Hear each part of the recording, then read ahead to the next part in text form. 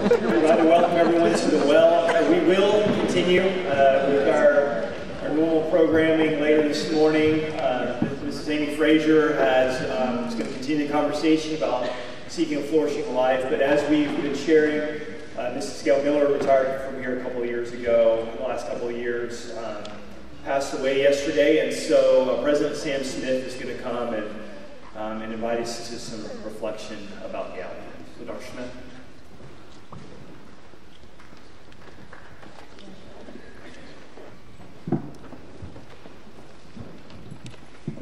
This is one of those moments you don't look forward to. Uh, but my question to you is uh, where were you?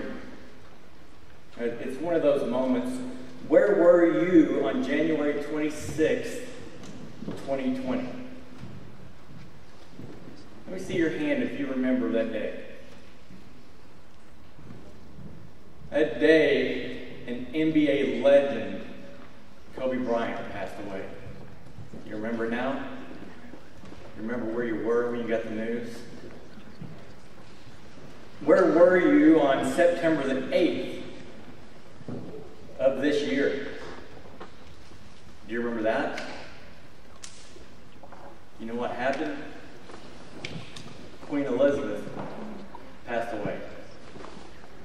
Gail Miller was a legend of York University.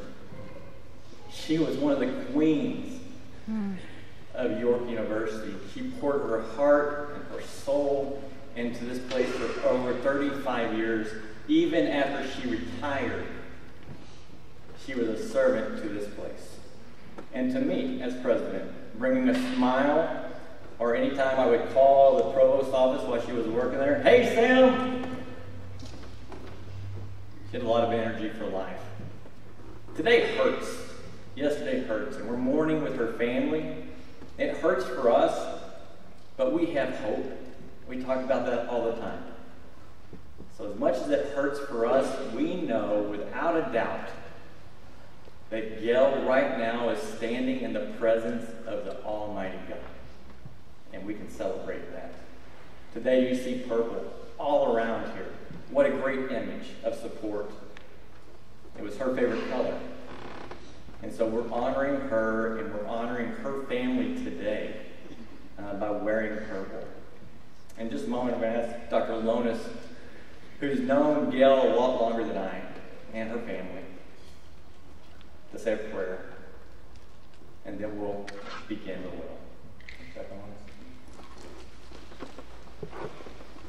Would you please stand after the prayer, read something for our time of song?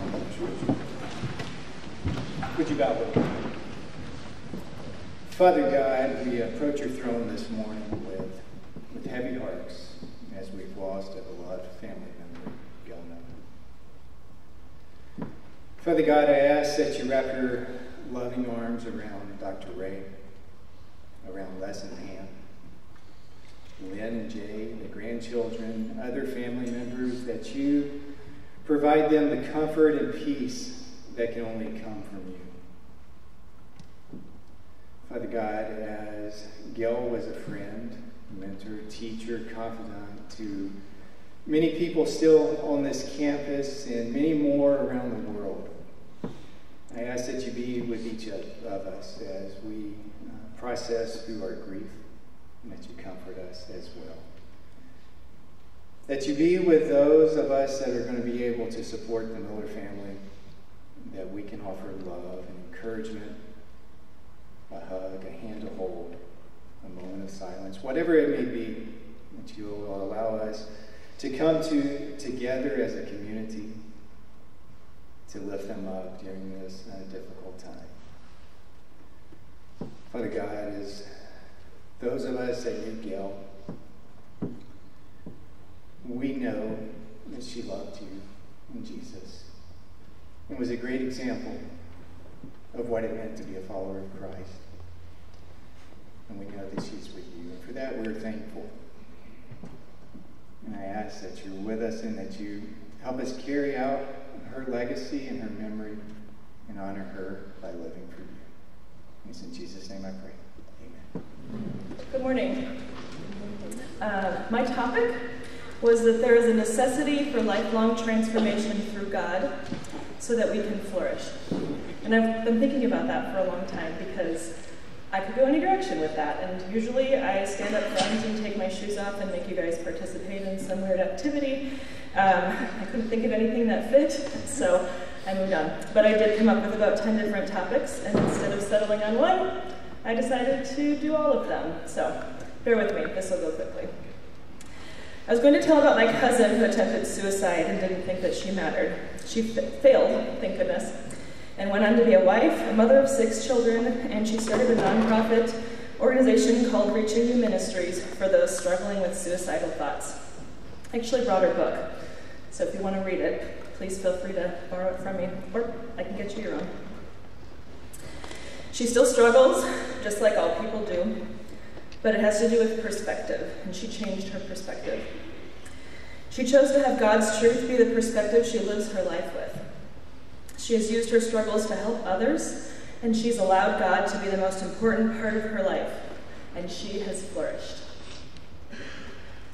I thought about going through scripture and finding stories of people who flourished in their lives. There's a lot, by the way, which is why I couldn't narrow it down very well. uh, ironically, as I looked into finding a common thread, an intriguing story to share and attempt to keep your attention, this came to mind. Most people, including us, struggle. We all struggle. The Bible is full of stories um, of people struggling, but or I thought, um, we doubt God at times, and so did Thomas. We chose, or we choose to deny God. So did Peter. We think we can do things in our own way, and so did Jacob. Human accounts in the Bible are not very different than those of us today, because they, like us, are human. King David was a man after God's own heart. He struggled and made some pretty poor choices, but God still used him, and he chose to follow God. He allowed God to use him, and he allowed God to be the driving force in his life. He made mistakes, but he learned from them, and his life was good. Through God, he flourished. When God is present, good things happen. And I knew I was going to cry, I was going to bring Kleenex, but I didn't, and that's okay.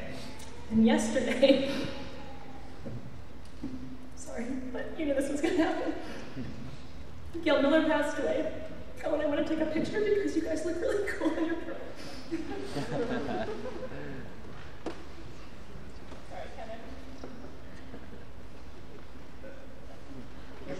Not that you had a choice, I was going to take the picture anyway. So, uh, but she passed away. I still can't really believe it, and I don't think I will actually for a long time. That's kind of the way my brain handles things like this. But I thought about talking about her life and how she flourished. I was positive I wouldn't be able to make it through that whole thing. But she's a shining example of flourishing because of her relationship with Jesus. She was a phenomenal educator. I loved teaching alongside her. Yesterday I thought about her microbiology syllabus. She would make these tiny little syllabus and you had to read that. So that was her, her syllabus for that class, or her course guide, we call it now. She was a wife and a mother and a friend and a discerning voice for those who listen. She would definitely give you, you um, her opinion and there, was a gap, there will be a gap in our lives because of her absence. But man, she flourished. And her legacy and example will live on in so many ways in all of us in this room and around the world, to be honest. What a gift that is for all of us. I realized I couldn't do most of these topics without crying. As you can see, I'm still trying not to. I wear my heart on my sleeve and I won't apologize for that. Being a musician and a music educator, I use music to make sense of the world to process hard things and to reinforce the things that I need in my life. And you know what? I want to flourish. I think I am. I want you to flourish, and I know that you can. I believe we all can. Live a full, purposeful, godly life and not just strive or survive day to day. Sure, we can do it on our own, but what's even better is we can allow God to use us and build us up and continue to allow Him to transform us into the people He designed us to be. I realized after all my thoughts that we don't need to, you don't need to hear me talk. That's actually not really my gift. I typically cry when I'm up in front of people, which is kind of weird actually. But um, also I do talk a lot, so I've demonstrated that already. Uh, we don't, you don't need to hear me preach. After I thought about that, I was like, I've never actually done that, but I suppose in some ways I, I do. And you didn't need to hear me give you a lot of ideas and thoughts to ponder, although I suppose I did that anyway. Today, I decided the way to deal with all of this and to show how we can flourish as university and as people who God loves, we're going to make some music. I'm going to bring some people forward. Music helps us understand things in a way that nothing else can. Hopefully, through what follows, you will experience the grace and presence and love of Christ. Through Him and a relationship with Him, we can flourish in ways we can't even imagine.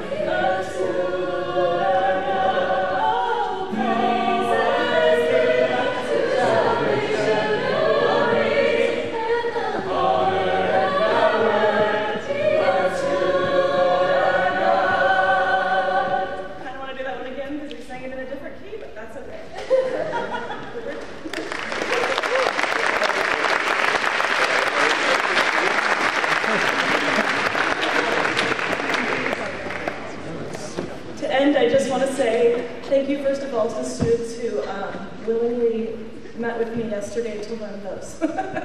Because, of course, I kept changing my mind. Uh, but I just want to say again, we, can, we will flourish with God. And when God is present, good things happen.